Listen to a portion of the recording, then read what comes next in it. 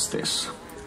A long, long time ago in a galaxy far, far away. Oh, that's not very helpful.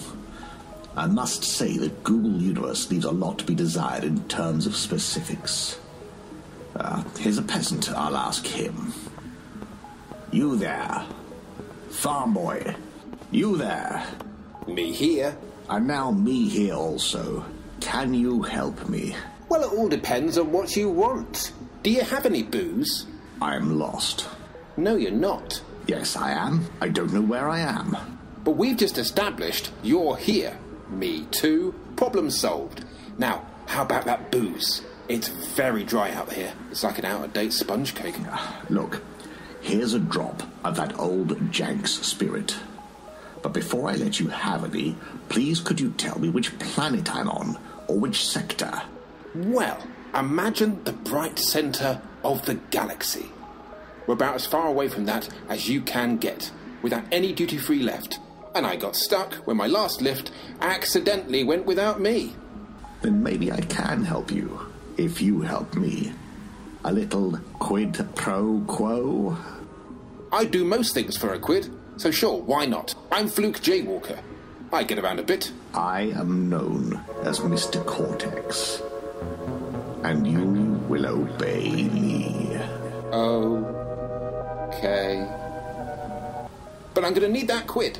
My travels have locked on to the biorhythms of a prodigy, an alleged chosen one who could bring balance to the Witchverse.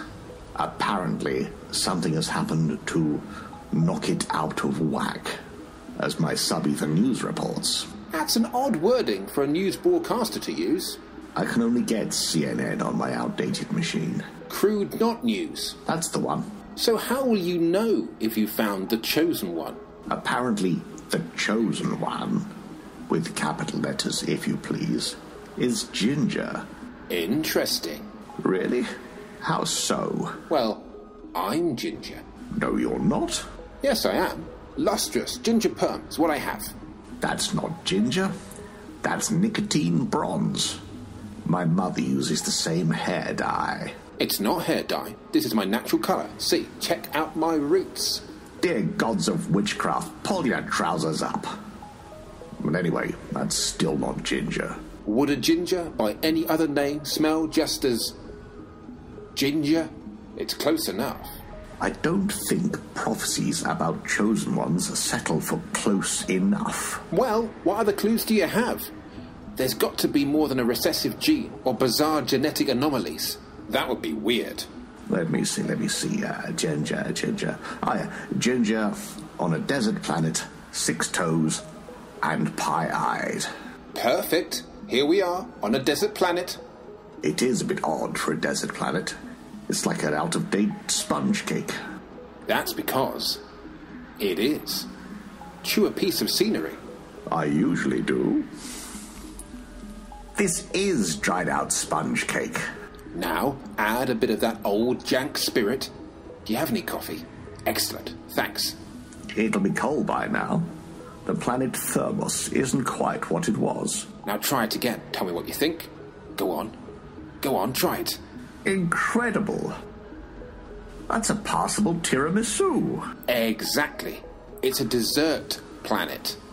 That's ridiculous. A planet entirely based upon a pun? You couldn't make it up, could you? I can see why you were thirsty. And I have six toes. Really? I can tell if you are lying, you know. Go on then. Test me. Okay. I am Mr. Cortex, and you will obey me. Obey me.